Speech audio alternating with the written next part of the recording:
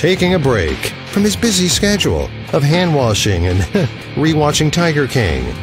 It's time for BSing with Big Nate. Are you sick and tired of using those cheap, smelly blue masks? They always seem to break, and no matter what you try to do and fix it, it just doesn't work. Plus, they look horrendous, and they never fit quite right. There's gotta be a better mask! Now there is! Introducing the new limited edition 105.3 The Bear Mask. This two ply eco friendly face cover is washable and reusable. And the best part about the new 105.3 The Bear Mask is that 100% of the proceeds benefit the Southwest Virginia COVID 19 Response Force. Get your new limited edition 105.3 The Bear Mask today.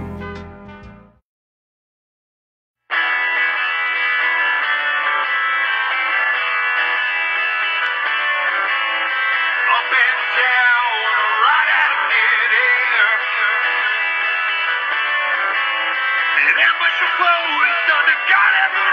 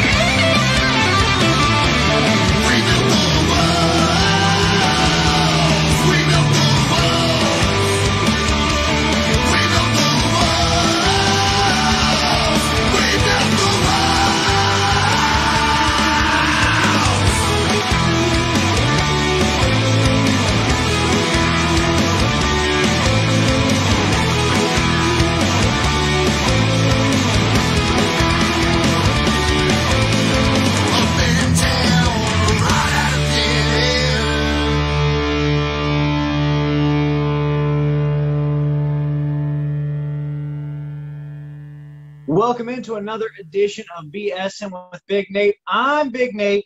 That was Whistler with Mystery, and I'm, of course, as you probably figured out by now, joined by Whistler. I've got Bradley and Brad. Yes, that's right. Two people with the same first name here. Uh, Bradley, of course, handling vocals. Brad handling guitar. How you doing, fellas? Good, man. Good. Glad to be All right, here. so, so we're going to start things off. Uh, what I kind of like to do is is get a little bit of an artist profile and, and a background. So, how did Whistler come to be? Well, uh, after I'd moved down here, man, I I was down here for a good probably two and a half, three years before I, I actually started thinking about trying to get a band going. Uh, I was doing a solo gig and just trying to get my foot in the door really meet some people and things like that. And uh, a, a little bit after that time, I was like, yeah, it's, it's time to get a, a band element. But the deal I was doing with my solo stuff was mainly covers and stuff like that. And I was like, I don't want to waste, you know, my, my, my time with, you know, trying to get a cover band together because my heart is in original music, you know, and um, I care about that. And so uh, I come up with an idea to try to find, you know, four or five other guys to jam with. Uh, unfortunately, this is this is what I like. This is my my this is Whistler here. These guys here, but uh, whenever I first started the band, I had three other guys um, that that just didn't they just didn't work out. Um, come with scheduling conflicts, you know, just different points of view on how we wanted to pursue our band and things like that. And um, so we, I, I moved away from those guys, and about another month went by. And um, after putting Craigslist list ads up and talking to friends and Ambler from uh, Out with Ambler, be sure to check that out. Um, she uh, uh, she hit me up with Brad, and uh, we, me and Brad, kind of talked influences and got to see Brad play. You know, he sent me some videos and things like that. And honestly, man, like I, I'm the type that I, I just, I don't care what what you play, what style you're you're into, or anything like that. You know, me and me and Brad, you know, we have a lot of the same taste in music, but then he's got stuff that I have never even heard of.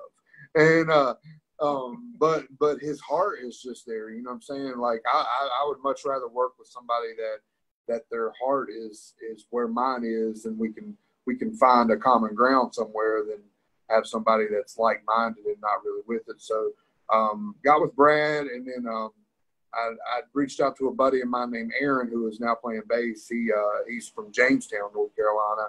Um, he wasn't playing with anybody. He had just recently left the band, so uh, we uh, linked up with him, and then uh, Aaron knew a, knew a drummer, and it just kind of went from there, man. Like Aaron knew somebody, and then Chris knew another guitar player. So the lineup that we uh, that we worked out just kind of it's sparked by word of mouth more than anything. All right, that's what I'd like to hear. So I want to dissect that a little bit. Uh, we're going to start with you. You referenced down here. Now, I, I want to point out. I, correct me if I'm wrong, Bradley, but you grew up in Pulaski, correct? Yes, sir. And where is down here? Down here is Winston Salem, North Carolina. There you go. Whistler coming out of Whist- Winston Salem. Good lord, that's a lot of WI sounds. out of Winston Salem, North Carolina. Now, where did the name Whistler come from? Um, we were we were with the with the first set of guys there. We were just kind of thinking of something cool, one word, you know, that kind of rolls off the tongue. And literally, man, I was at my house one night and I was just like racking my mind with uh, like comic book Alias. And do you remember the Blade movies? I do. You know Kris Kristofferson's character Whistler. We named the band pretty much after that. I like it. So Whistler was something that stood out to me because the reason I got into radio actually, uh, growing up, I listened to a lot of. Uh, uh, I had a Smithsonian collection of old radio mystery serials, and one of those where I think the name the Whistler for for Blade came from. I think it came from the Whistler radio serial, which had this guy whistling at the beginning of it, and then it would go on. It was just this weird like horror mystery serial that was a, it was That's a lot crazy. of fun. I'm gonna have to check that out. It's some good stuff. I mean, they're all available online by now. They're well into the public domain. Yeah. I'm going to ask you something, and, and this is hard because I'm going to ask you to uh, something that we, a lot of artists probably don't want to do, but I want you to uh, pigeonhole yourself, as it were. I want you to describe Whistler's sound in three words. You got three words to describe what Whistler sounds like. You throw one out there. Hooky. Hook. Yeah, I like that one. Hooks. Um, rock, man. Hooky Rock. Yeah. Uh, uh, contagious. Hooky Contagious Rock. I like it. See, there, Yeah. that's a genre right there. Yeah. So, at the beginning of this, we heard mystery, and you guys actually, throughout everything going on with COVID 19, you guys put out an honest to God video Yeah. mystery. And I, I mean, I watched it today, and, and I was I was taken aback because there's a lot going on there that's just Yeah. very fitting for the way 2020's gone. So I, want you, I, I want you guys to tell me what it was like shooting that video. It, you go ahead, Ray. You start us off there. It was a lot of fun. It was definitely different. Uh, we, you know, we obviously filmed it. We weren't around each other when we filmed it, so you just said, "Hey, you know, cut your phone on, whatever you got the film with, and play the song, and just do your thing." And I went kind of crazy with it. I broke out some of my steampunk goggles and my luchador mask, which I don't think any of that made the cut. But A lot of there's, stuff. there's some good stuff that, Yeah. that didn't end up in the video, but, but it was audible too. So yeah, it was a lot of fun. Who did the production work on that? Because I love like it- it's got like this like 90s computer crashing motif to it. Yeah. But I'm a big fan of like like I like the uh, the different computer windows on each member and, and everything popping and crashing. Dude, the uh, the, the the video was actually done by our, our other guitar player, Lucas. Uh, he um, he's very talented when it comes to that stuff. Honestly, I didn't realize how talented he was.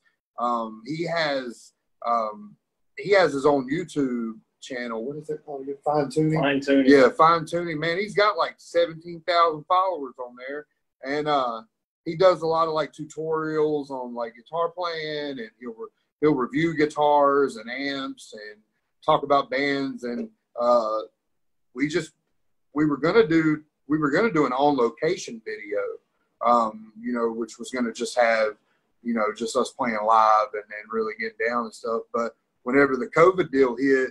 Uh, it, we were i think the thing that sparked it is we were having a group chat one day and just the way it looked in the group chat like we were like man this would be cool to do a video like this and um and then lucas kind of ran wild with it like i saw something with the brick wall and uh, we were talking about because the song has references putting up you know tearing that or building the walls and things like that and uh, or putting up walls um and uh Lucas kind of just ran with it, man, and, and he kind of blew us away. Like, it, there's a lot of outtakes of, of where that video started.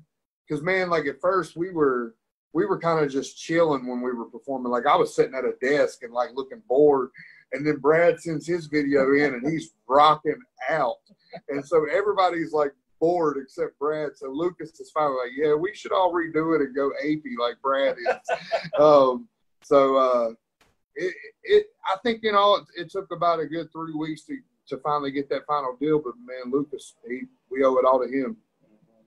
No, I, I mean it looks incredible. It's so well done, and Yeah. kind of like I, I love how it starts off so smooth, and then everything just falls apart. Yeah, Like it's very much analogous to the way way uh, uh, 2020's gone. So uh, definitely, if you haven't checked out the mystery video, it's uh, it's definitely worth the watch.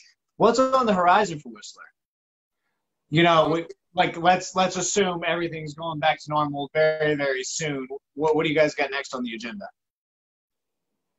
a couple more videos in the works. Uh, and then we're going to be doing some uh, studio live sessions.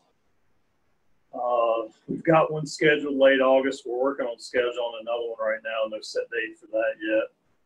We may be playing a live show. I think it's what the Friday or Saturday of Labor Day weekend. Yeah. Yeah, uh, September fifth. Yeah. I say maybe because you know we just don't know what's going to happen. Yeah. With, you know, it's scheduled. We'll see if it comes together. I feel like that's the trickiest part with all this. It, it is, I mean, the best laid plans are kind of cast aside by everything going on, and it's like, a- as a band, and, and you guys can probably speak to this way better than I can, but you know, you spend all this time planning, writing, recording, and, and then you're just at the mercy of what's going on in the world. yeah. Yeah, man, it blew a lot of the wind out of our sails. That's for sure. Like, you know, and and, and then the video, you know, we did the video, and that that really helped things. Um, you know, just sparking some some buzz, and honestly, that was the that was the first release the band had had. Like the first lineup, we we recorded, but we didn't get to release anything before everybody bailed out. Um, so that was the first release we'd have, and we've got two videos in the works um, right now, and then uh, we haven't even started rehearsing yet. We we start rehearsing next Wednesday. Um, it'll be our first rehearsal back um, with everything because uh, one of our bass player, it, he uh, Aaron, he he went he hightailed it down to Seagrove, North Carolina. He's out in the middle of the woods, man. That dude told me he wasn't coming out until this thing is over. but um, but nah, he's going to make it out next Wednesday, uh, and so hopefully we can that's going to really spark everything's back everything back up, and so we can get to play. You know. That's what we're looking for. So, last but not least, and probably most importantly, because you guys got that killer video for Mystery and, and people are going to want to find you, where can they find Whistler online? If you go to Facebook, uh, you can find us at Whistler NC, um, just all one word, Whistler NC. Um, Instagram, Whistler Tunes, ReverbNation.com, uh, Whistler Music. Um, that's about it. And you can search. We have a YouTube channel as well. If you just search Whistler on YouTube, we have a YouTube where pretty much that video is is all that's on there right now. But once everything opens back up and we start playing again, man, we gonna we'll get back at it. That's what I like to hear. Whistler, a band to keep your eye on. Of course, many thank yous to uh, Ambler for apparently putting Yeah. Whistler together, and of course, putting me in connection with Whistler. And uh, thank you guys so much for joining me. This is Brad and Bradley of Whistler, putting out some killer tunes. Check out their mystery video, and uh, of course, always keep watching the 105.3 The Bear Facebook for BSing with Big Nate. Sweet. Peace. Are you sick and tired of using those cheap, smelly blue masks? They always seem to break, and no matter what you try to do and fix it, it just doesn't work. Plus, they look horrendous, and they never fit quite right. There's gotta be a better mask! Now there is! Introducing the new limited edition 105.3 The Bear Mask. This two ply eco friendly face cover is washable and reusable. And the best part about the new 105.3 The Bear Mask is that 100% of the proceeds benefit the Southwest Virginia COVID 19 Response Force. Get your new limited edition 105.3 The Bear Mask today.